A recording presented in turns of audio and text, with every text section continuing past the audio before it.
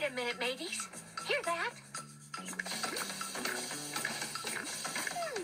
Why, yes, I do. The geysers are burping in a pattern. It sounds like music. Oh, fun! The geysers are burping a little tune. I know.